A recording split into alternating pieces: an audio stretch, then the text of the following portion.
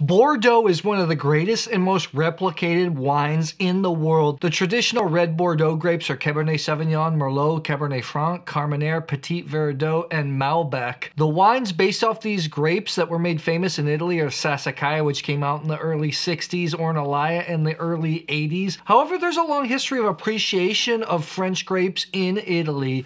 In a recent article, Ian D'Agata even stated in the 40s, Italian nobility, they weren't drinking Tuscan wines. For the most part, they were drinking French wines. There's a tiny appellation in Tuscany called Carmignano, which is near Florence. That's the first appellation in Tuscany and Italy, for that matter, to not only allow but require Cabernet Sauvignon into the blend. The consortio there at Carmignano claims that Cabernet Sauvignon's been there since the 16th century, which suggests that these French red grapes do have a long history in Italy. I think wines based off the Bordeaux grapes do taste different in Italy, like they taste different in Napa or Margaret River in Australia. The wines in Tuscany that were made famous using these grapes are called Super Tuscans, and today we're going to taste two very good Super Tuscans next to two very good red Bordeaux's. Super Tuscan is not a classified term, it's a colloquial term. It was invented by critics. They saw the potential for great Bordeaux-based wines in Tuscany, and they started to dub these wines Super Tuscans or above normal Tuscan wines. Earlier in 2023, I did a blind tasting of 10 different Super Tuscan wines. I'll pin it in the comments below.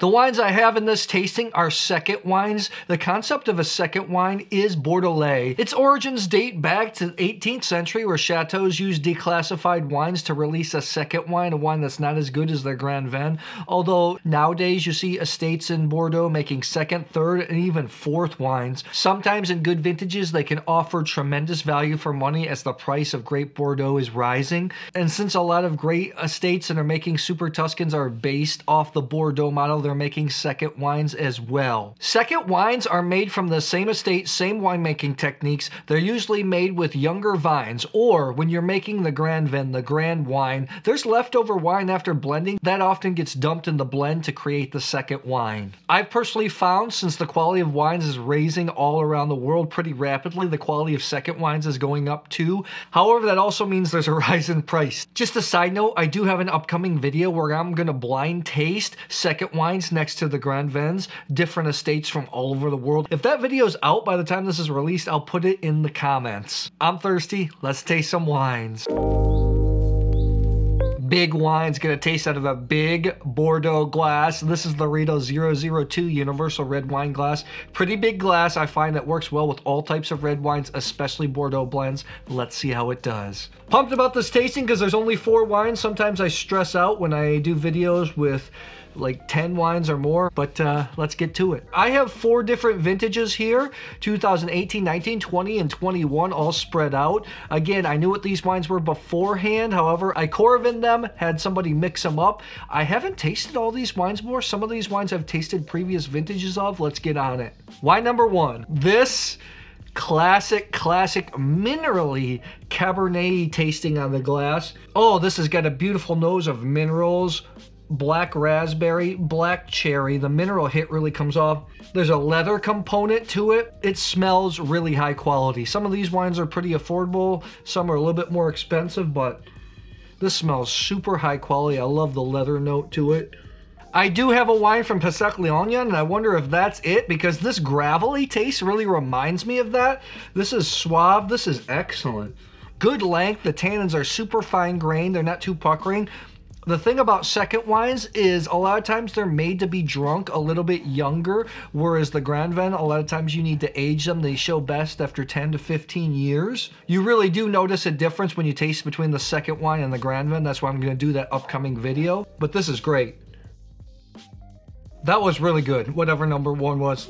Okay, two, different wine, a little bit more austere, a little tighter, almost like if you, you know, one was a little bit more boisterous. It's almost if you like have somebody that's in pretty good shape, they're gonna wear tight shirts, they're gonna show everything off. This one, they're gonna, this one is like, you can tell it's a good wine, but they're covered up a little bit more. They're like in their winter jacket and their scarf. This smells younger. Black fruits, black plum, cassis.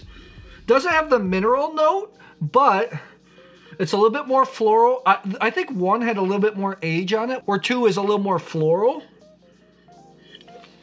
These are killer wines, especially for second wines.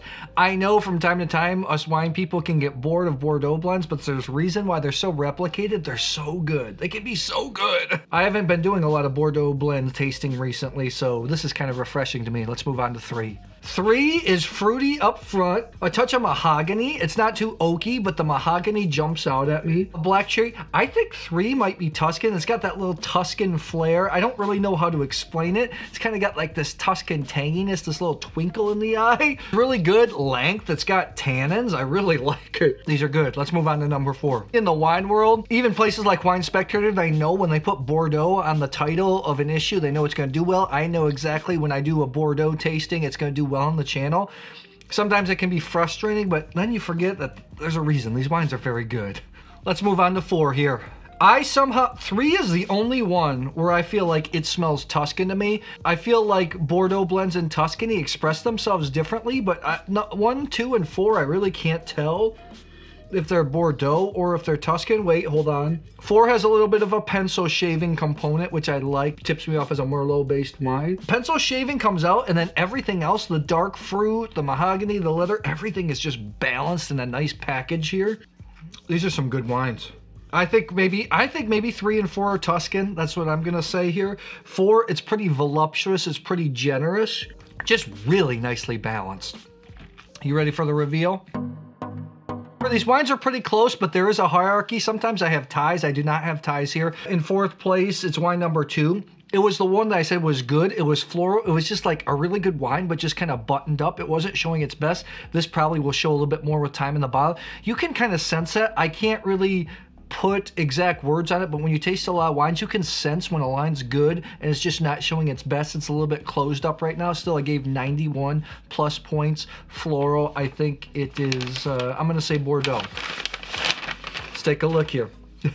the Esprit de Chevalier from Pessac Léognan 2020. This is 29 bucks. This is the second wine to the Domaine de Chevalier, which runs in at 100 bucks, so you're getting it at a third of the price. I actually had this in a blind tasting video that was early in the year. It showed super well. I love this estate. I love the Pessac Léognan style. It makes sense. Buttoned up, it's probably going to show its best after time. Let's move on to number three. Remember, it's the one I said has mahogany. Real full in body, rich. I do think this is Tuscan. I gave 92 plus points. If you don't know what mahogany is, when I used to play guitar a lot, I used to have a Martin D15 and brown mahogany wood, and I used to smell the, the bunghole all the time because it smelled so rich, chocolatey. I think it's Tuscan, 92 plus points. It is Tuscan. This is the Il Pino di Biserno 2021 young wine, 59 bucks. Biserno was started by Lodovico Antinori, who was one of the founders of Ornellaia. Sold the estate to Mondavi Constellation, took it over. Now he has his own estate. This is the second wine to the flagship Biserno, which is 150 bucks. So again, about a third of the price. This is coming on an upcoming Super Tuscan blind tasting video. 59 bucks, 92 plus points. I've always liked that wine. I know that wine has quite a bit more Cabernet Franc in the blend because I know Lodovico loves Cabernet Franc. Even Biserno even has a super premium wine made of 100% Cabernet Franc. That goes for like 300 bucks. number four, number one, really close. Number four, big. The pencil shaving really stood out. It had balance, it had some big time tannins. I think that it is Super Tuscan. 93 points. 93 points. I thought it was very good. It is a Super Tuscan. This is the Tenuta Licinia. This is the Montepoli from Toscana, 29 bucks. Great label, almost Lafite, almost like an Abreu type label. Never tasted that wine before, 29 bucks. It's a heck of a bargain. Their more top wine is the Sassa de Fata, which is coming in upcoming blind tasting. This is around 70 bucks. Single vineyard wines, beautiful. I mean, these labels are just classy, beautiful labels. And I like that wine a lot at 29 bucks. I know that one's not so readily available. That's what stinks, but it is what it is. Number one, I thought it was Bordeaux, minerally leather. I thought it was from the Graves. I like the leather component a lot. Remember I said I felt like it had the most age on it, which it does, 93 plus points. You ready? I know it's low. This is the Amiral de Beychevelle 2018. This is from St. Julien, really balanced appellation on the left bank of Bordeaux. This comes in at 40 bucks. I know Beychevelle is one of the estates on the left bank that uses a significant proportion of Merlot in their blend. I actually had their Grand Vin, the Chateau Beychevelle, in a blind tasting earlier this year. This comes in at 95 bucks, so less than half the price and 93 plus points. I thought this was gorgeous. You can see the label's quite dirty is because actually my cellar flooded and this was on the ground, so I got a little bit wet. But nice to know the wine wasn't affected, and that was gorgeous stuff. 2018 is a vintage that I think is drinking great in Bordeaux early on and I like it a lot. So tell me, what do you prefer? Bordeaux, Super Tuscans, or do you prefer Australian, Chile, Argentina, Californian, South African maybe? Drop it in the comments below.